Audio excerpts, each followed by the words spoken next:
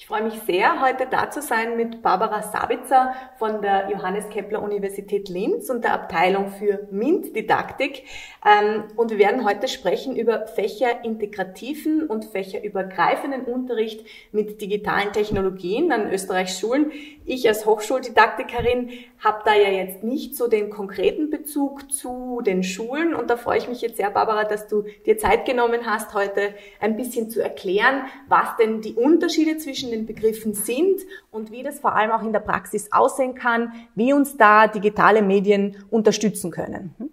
Ja, vielen Dank für die Einladung. Ich freue mich sehr, über dieses Thema reden zu dürfen, weil ich selbst äh, ein Mensch bin, ein Lehrer war für 20 mhm. Jahre, der gern interdisziplinär unterrichtet hat. Äh, meine Fächerkombination, drei Fremdsprachen, Informatik und etwas Psychologie.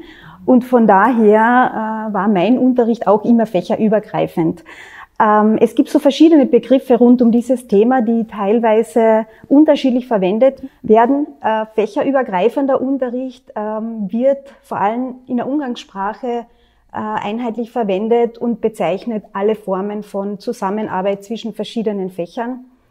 Äh, es gibt dann natürlich Spezialisierungen noch. Also man hört Begriffe wie interdisziplinärer Unterricht, wenn eben mehrere Disziplinen zusammenarbeiten, fächerübergreifend, wenn mehrere eigenständige Fächer miteinander arbeiten und die eigenen Ziele verfolgen, gemeinsam vielleicht ein Projekt äh, durchführen, mhm. ein gemeinsames Produkt erstellen äh, fächerverbindender Unterricht, wo auch die eigenständigen Fächer bestehen bleiben und Themen aus verschiedenen Perspektiven bearbeitet werden. Und dann fächerintegrativer Unterricht, der eine Spezialform darstellt, weil man dabei einfach in ein anderes integriert. Das ist so eine Art ähm, Two-in-One. Mhm. Äh, Beispiel, ich unterrichte äh, Spanisch und äh, lasse meine Schüler Vokabellisten in Excel erfassen, erkläre gleichzeitig auch Inhalte aus dem Wirtschaftsinformatikunterricht, wie man nämlich mit Excel umgeht, wie man einen Vokabeltrainer programmiert mhm. mit verschiedenen Funktionen. Das wäre eigentlich Stoff aus dem Informatikunterricht, aber ich bringe ihn, da ich ihn beherrsche, ja. auch im Spanischunterricht. Das wäre ein fächerintegrativer Unterricht. Mhm. Mhm. Das finde ich jetzt ganz besonders spannend in der Debatte rund um Kompetenzen dass man nicht mehr so klassisch in diesen Schulfächern denkt und ja. den Schülerinnen und Schülern auch mitgibt, dass diese Dinge ja auch im realen Leben natürlich ineinander greifen, genau. integrativ sind und dass man so die Kompetenzen ähm, erweitern kann. Ja? Genau. Ja, mhm. das Leben besteht auch nicht aus Fächern. Nein. Und, äh, das heißt, der ideale Weg in der Schule wäre ja auch, vom Leben auszugehen, von Problemstellungen mhm. auszugehen und dann das zu lernen, was man braucht, um diese Probleme zu lösen. Also Problem-Based Learning. Genau, ja. ja. Also da passt dann wahrscheinlich auch der kompetenzorientierte Unterricht genau. hinein genau. Ähm, und dann vielleicht die Erstellung, so wie du gerade gesagt hast, von digitalen Lernprodukten, ja. wie zum Beispiel das Programmieren eines ja. Vokabeltrainers. Welche anderen Beispiele kann man da nennen? Was fällt einem da noch ein? Ja, da gibt es sehr viel. Ähm, Im Grunde kann ich äh, Technologien äh, auf allen Ebenen verwenden, wenn es um Unterricht geht, sei es als Lehrer selbst jetzt in der Vorbereitung, bei der Recherche, äh, bei der äh, Erfassung aller Noten mhm. und sonstiger Informationen, äh, Gestaltung von Unterrichtsmaterial etc. Äh, und dann im Unterricht selbst. Und so nebenbei erweitern sie auch ihre digitalen Kompetenzen, den Umgang mit den Technologien aber auch, wenn man will, den Blick dahinter im Sinne der neuen digitalen Grundbildung, mhm. ein neues äh, Pflichtcurriculum in Österreich für die Sekundarstufe 1, äh, wo es um Themen geht wie technische Problemlösung, Computational Thinking, also informatisches Denken, auch Programmieren mhm. oder auch äh, Themen wie Daten- und Informationssicherheit. Mhm. Wie kann man sich das so in der Praxis dann noch vorstellen? Was was müssen Lehrerinnen und Lehrer da wissen? Worum mhm. geht's da eigentlich? Ja. Die Inhalte sind äh, praktisch aus dem Bereich IT, Technologien, Informatik zum Teil, äh, aber auch gesellschaftliche Aspekte wie äh, Sicherheit äh, und so weiter.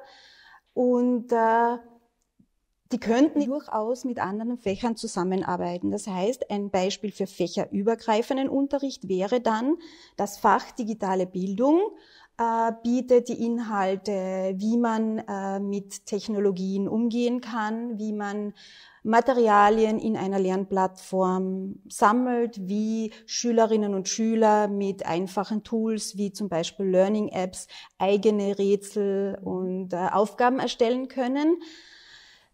Das zeigt das Fach digitale Bildung. Und wenn es jetzt ein fächerübergreifendes Projekt zum Beispiel gibt mit dem Englischlehrer und dem Geschichtelehrer, mhm. dann könnten jetzt äh, Wortschatzaufgaben oder Textverständnisaufgaben aus dem Englischunterricht mit Hilfe dieser Learning Apps ähm, aufbereitet werden oder eben Geschichteunterricht, geschichtliche Themen in englischer Sprache ja. und das Ganze dann vielleicht als Webseite aufbereitet werden, dann wäre das ein schöner fächerübergreifender Unterricht. Mhm. Ist da aber dann nicht eine Herausforderung auch das Benoten? Ja, genau. Das Benoten, die Bewertung ist definitiv, die ist sowieso immer eine Herausforderung, ja. äh, weil was ist gerecht und ja. wie benotet man wirklich, was mhm. benotet man, mhm. das ist schon klar, aber insgesamt ist die Benotung äh, schwierig, ja, genau. Mhm. Äh, da ist es dann so, dass sich die Lehrer ähm, absprechen, dass, dass sie vielleicht gemeinsam die Ergebnisse besprechen, eher verbal äh, beurteilen und dass dann in jedem Fach eine die gleiche Note äh, wahrscheinlich mhm. in, den, äh, in die Bewertung einfließt. Und ähm, ich glaube, der, der große Unterschied zwischen fächerintegrativ und fächerübergreifend oder verbindend ist äh, wirklich der, dass beim fächerübergreifenden und verbindenden unterrichtet jeder Lehrer, jede Lehrerin die eigenen Fächer. Mhm. Im fächerintegrativen Unterricht unterrichte ich über mein Fach hinaus. Also ich bin geprüfte Englisch- und Italienischlehrerin zum Beispiel, kann aber, weil es mich interessiert, selbst programmieren.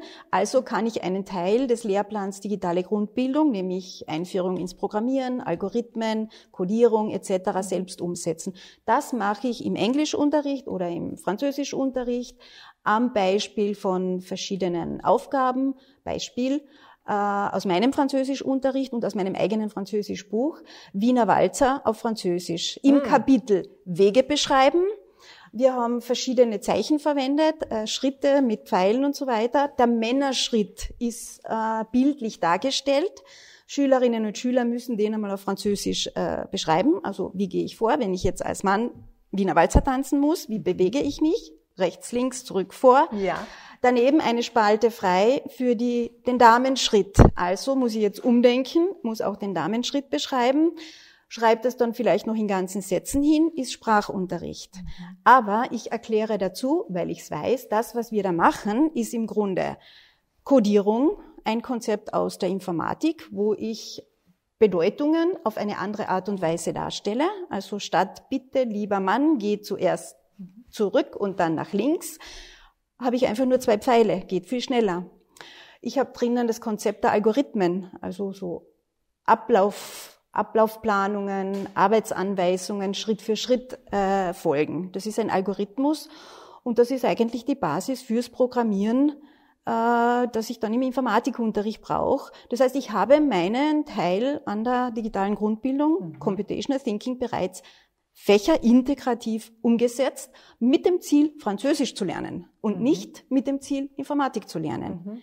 Das wäre so typisch fächerintegrativ. Was eine gute Strategie wäre für all jene, die sich vielleicht ja. von, von algorithmischem Denken und genau. Computational Thinking einmal abschrecken lassen. Die haben jetzt ich gehöre vielleicht zu solchen Menschen dazu, im ersten Moment äh, gerade was gelernt, mit mhm. Wiener Walzer Computeralgorithmen ja. erklärt. Gut, vielleicht abschließend noch die Frage, ähm, jetzt haben wir von Herausforderungen mhm. vorher gesprochen in Bezug auf vielleicht Benotung, vielleicht mhm. für manche ist Teamteaching ja. eine Herausforderung, da muss man sich natürlich ja. auch erst arrangieren und, mhm. und abstimmen. Gibt es noch andere Herausforderungen, die dir so aus der Praxis bekannt sind? Ja, definitiv. Ähm, äh, die ganze Schulorganisation, die Rahmenbedingungen. Ähm, das ist jetzt von Schule zu Schule verschieden. In den Mittelschulen ist es auch wieder, es ist ein bisschen schwieriger, aber doch auch noch einfacher, weil das auch vom äh, Curriculum her gefordert wird und äh, durch die verschiedenen Gruppen, die sich da bilden, die müssen praktisch zusammenarbeiten. Da muss man viel mehr fächerübergreifend mhm. arbeiten. Aber in den AHS, in den höheren Schulen, wo im Stundentag die Fächer wechseln,